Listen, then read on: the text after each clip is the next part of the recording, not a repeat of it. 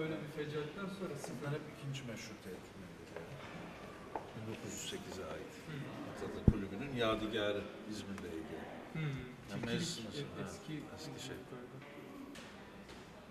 İkinci- Bu da ikinci meşrutiyetle ilgili eee, aslında eee, bu fikir veriyor mendillerin ne şekilde basıldığına dair. Yani her şey yapılır da eee, yani bu yine böyle bir şey. Yani onun gibi bir sürü şey var. Şu Arapça şeyler, şu ölülerin suratına konan. Yine İngiliz Milletler Topluluğu'nun bir hatıra mendili. Bu da koleksiyona yeni giren mendillerden bir tanesi. Bu da ittifakın işte Avusturya ve Alman liderlerinin yer almış olduğu yine Birinci Dünya Savaşı mendillerinden. Sipariş verdiğimiz iki tane ve İngilizlerin Yani- savaşın patlamasıyla birlikte el koydukları bu tip mendillerin e, köprü üzerinde, Haliç'teki köprü üzerinde kumbaralı insanlar tarafından para karşılığı satılıp e, o paraların bir araya getirilip ödenip geri alamadığımız meşhur e, iki tane Osmanlı evvel e, yine Çanakkale ile ilgili Hmm. hazırlatmış olduğu özel kendileri için bu sembol sadece İngiliz Deniz Kuvvetleri'nin. Yurt dışından eğitimden geldiğim bir sömestr tatilinde e, Nuri Osmani'nin girişinde bir dükkanda gördüm. E, o da 1876 Osmanlı e, Yunan Savaşı'nın bir şeyi. Ne olduğunu pek anlayamadım. Kağıt zannettim. Sonra ipek olduğunu anladım. O şey benim ilgimi, e, oradaki betimleme benim e, ilgimi çekti.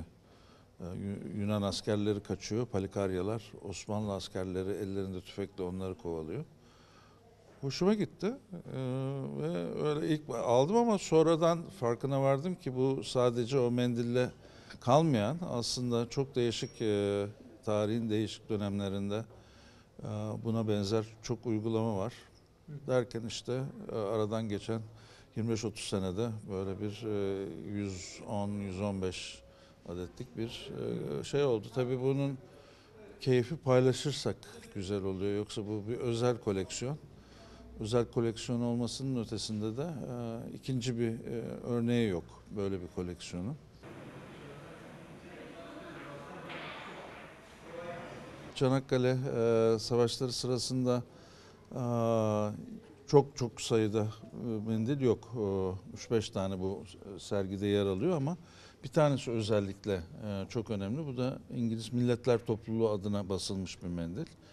Ve e, Çanakkale e, operasyonu başlamadan çok önce belirli bir hazırlıklar e, çerçevesi içerisinde adeta İstanbul'u alacaklarını düşünerek e, bu mendili hazırlamışlar. O zaman tabii İngiliz Milletler Topluluğu dediğimiz olgunun içerisinde Yeni Zelandalılar, Avustralyalılar, Hint kuvvetleri var.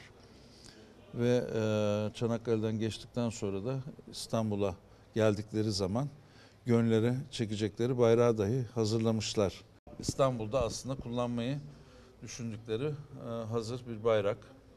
Bu bayrağın da kenarında tutulan ay ve yıldız diye e, yer almış. E, o şekilde bir ibare var burada. Çanakkale'nin ve Marmara'nın harekat planına da bir şekilde yer vermişler. Gemilerin adeta Marmara'ya geçtiğini bir şekilde varsaymışlar. Oysa e, öyle bir şeyin olmadığını biz de biliyoruz o zaman gemilerin. Bu sadece mendilde kaldı.